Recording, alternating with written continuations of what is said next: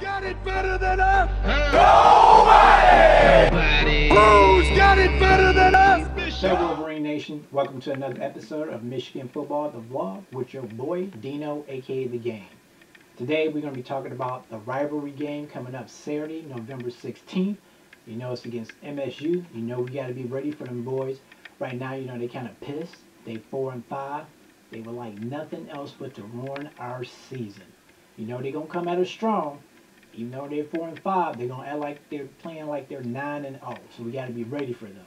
On that note, let's get into some highlights of last year when we was up in East Lansing, ranked number seven, and we ran it on. Take a look at this. Shotgun guns it right Nice side. catch. One hand catch Wow. made. Beautiful grab made for a first down by Connor Heyward. Outstanding grab there, one-handed. It's becoming second nature No, football now. no help from the left hand. Ooh. All the right hand. And he was in the grasp. Yes, he was. Shotgun for Lewerke. Five receivers detached. Back to throw. Lots of time. Now pressured. And he'll get sack time. Josh Uche runs down Lewerke at the 40 yard line, the 39 yard line. And the Spartans will be forced to kick it away. and that was an effort sack. Josh Uche did a great job of getting upfield and just working his way around the edge. Well, we've just got an announcement from the officials, John.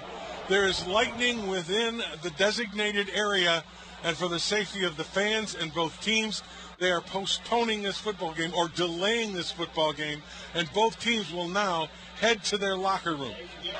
Shea Patterson looking for the snap, gets the snap, looks, looks, looks, throws in the middle, caught, touchdown, Michigan.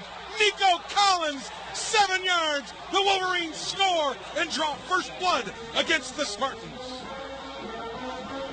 And rightfully so. The guy that saved that drive on the big tip, third down conversion for first. Nico Collins comes up big with a touchdown reception and a nice bullet by Shea Patterson. Two things, John. Great protection and what a throw. Play fakes to Evans. Rolls to his right. Looking downfield, nowhere to throw it. He's going to be hit near the sideline and thrown down. Back at the 20 yard line. Andrew Dowell makes a big time play. Yeah, very great coverage there in the defensive secondary for Michigan State. Nowhere to go for Shea Patterson, looking to just throw that ball. He's looking for the tight end there, Sean McKeon.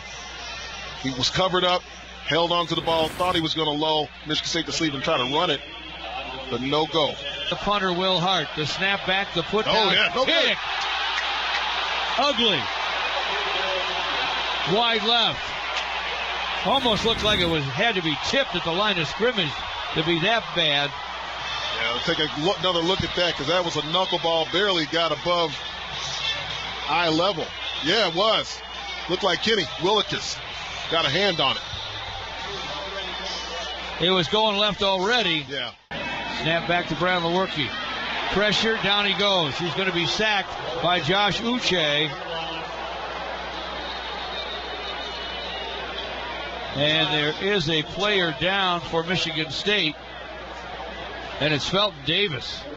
Sally Nogle, the head athletic trainer, and her crew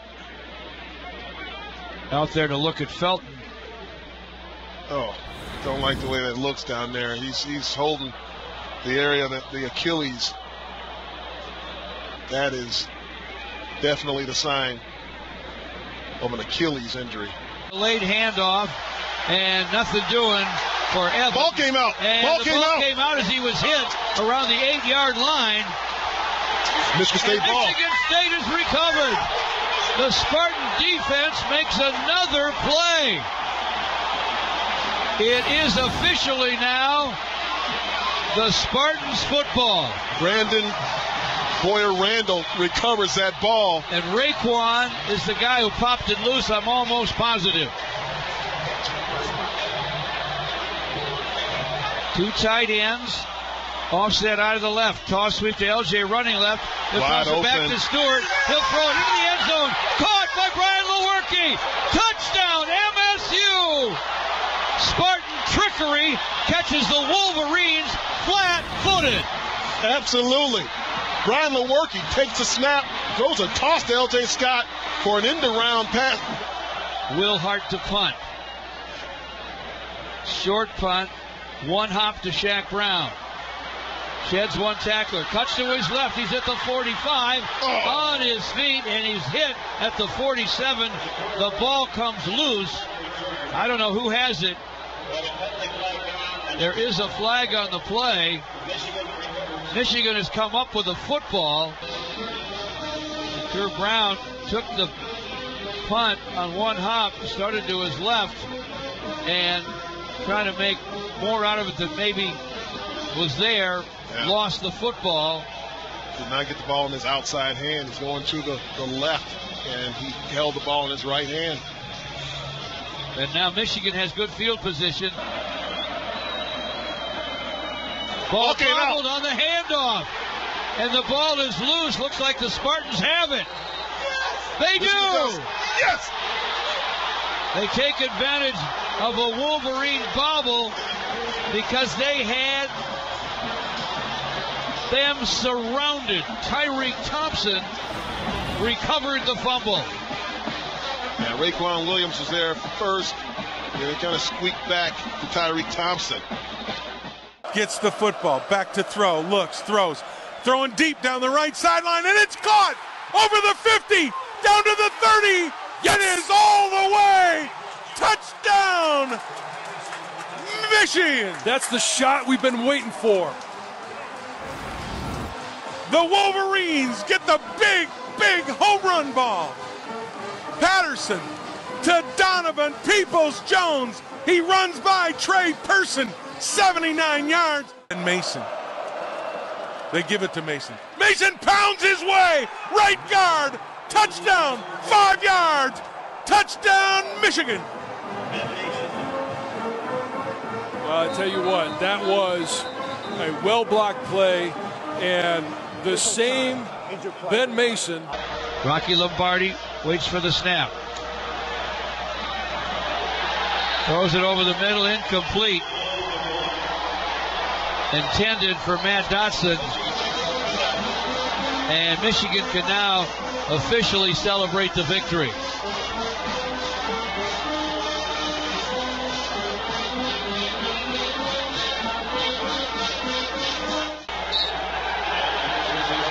And Shea Patterson takes another knee, and Michigan storms the field like they've won the national championship. But for the third time only in 11 seasons, they've managed to beat Michigan State. The finals 21 to 7. That was something, wasn't? That was really something. It's, sometimes it's nice looking at those old games. I hope this year's game is way better than that and the score is way much worse. Anyway, we're going to take a look at a little official trailer. It's called Divided We Stand, Michigan versus MSU. You know, Michigan people, Michigan players, MSU people, MSU players, coaches, Izzo, you know, Coach Beilein, basketball players. I think Jimmy King's in this. They're gonna be talking about the rivalry between Michigan and Michigan State. Anyway, that's coming on FS1 Fox, November 14th, 11 p.m. Let's take a look at the trailer.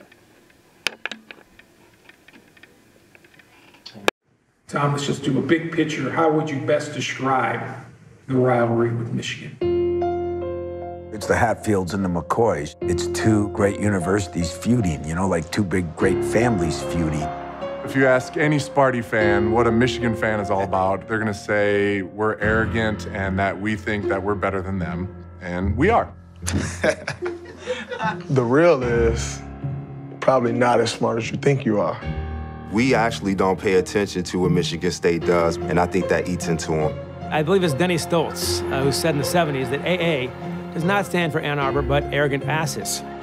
When everything is going really good, they talk trash, they do everything. But if something isn't going right, there's excuses. That's not blue collar. Blue collar doesn't make excuses.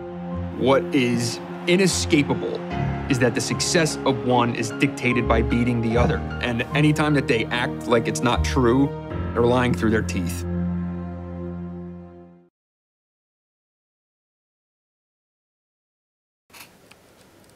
Yeah, that was pretty sweet. I like that official trailer. I can't wait to see the whole thing. Remember, November 14th at 11 p.m. on FS1 Fox.